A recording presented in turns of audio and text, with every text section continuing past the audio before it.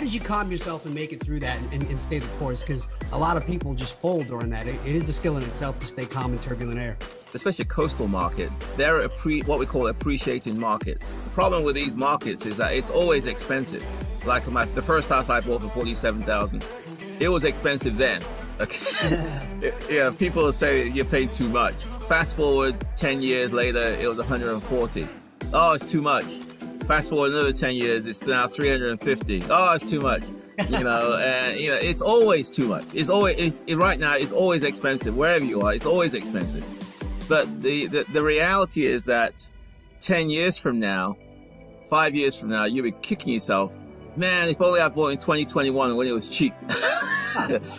so you just have to figure a way to get in